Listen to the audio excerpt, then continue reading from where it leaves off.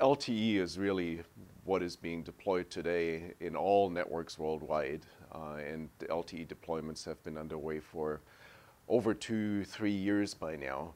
Um, as of February 2014, there's uh, over 250 networks in almost 100 countries deployed.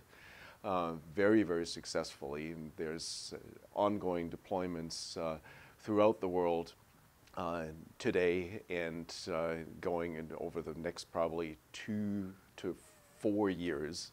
Um, initially, these deployments were actually based on a standard called frequency division multiplexing, a frequency division duplex, FDD, LTE.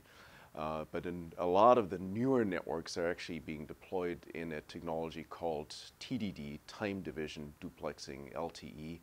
And we just started actually deploying uh, primarily in Korea and in some Asian countries, LTE, what's called LTE Advanced.